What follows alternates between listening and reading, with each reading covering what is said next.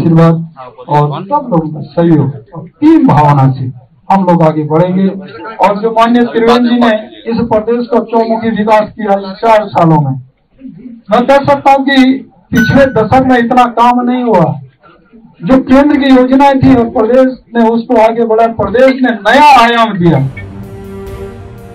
उत्तराखंड में राजनीतिक उठापटक को विराम देते हुए त्रिवेंद्र सिंह रावत के इस्तीफे के बाद तीरथ सिंह रावत को नया मुख्यमंत्री चुना गया है। हालाँकि सीएम की रेस में सतपाल महाराज, अजय भट्ट, धन सिंह रावत और रमेश पोखरियाल निशंक का नाम भी आगे चल रहा था, लेकिन अब तीरथ सिंह रावत ने बाजी मार ली है। तीरथ सिंह उत्तराखंड के अस्तित्व में आने के बाद राज्य के पहले शिक्षा मंत्री रहे। पौड़ी गढ़वाल सीट से वो मौजूदा सांसद हैं और वो उत्तराखंड बीजेपी के अध्यक्ष भी रह चुके हैं। 9 अप्रैल 1964 को उत्तराखंड के पौड़ी गढ़वाल ज़िले में जन्मे तीरथ सिंह रावत समाज शास्त्र में मास्टर डिग्री के साथ ही पत्रकारिता में डिप्लोमा भी कर चुके हैं। सिर्फ़ 20 साल की उम्र में तीरथ सिंह आरएसएस के लिए प्रांत प्रचारक बन गए थे। वो नब्बे के दशक में राम जन्मभूमि आंदोलन से भी जुड़े थे और दो साल तक जेल में रहे। उत्तराखंड राज्य आंदोलन के दौरान रामपुर तिराहा कांड के विरोध में उन्होंने एक बड़ा शांति मार्च निकाला था। कॉलेज के दिनों में छात्र राजनीति में कदम रखते हुए तीरथ सिंह रावत अखिल भारतीय विद्यार्थी परिषद से जुड़े।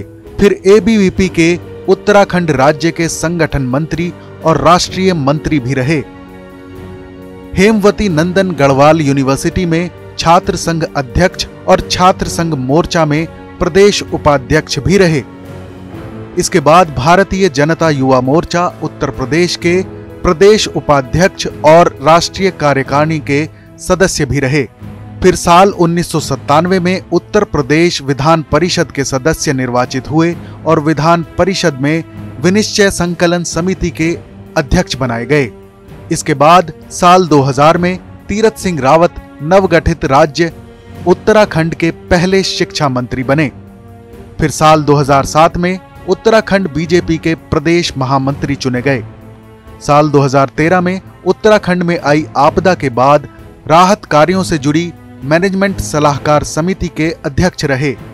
साल 2012 में चौपटा खाल विधानसभा से विधायक निर्वाचित हुए और फिर साल 2013 में उत्तराखंड बीजेपी के प्रदेश अध्यक्ष बनाए गए।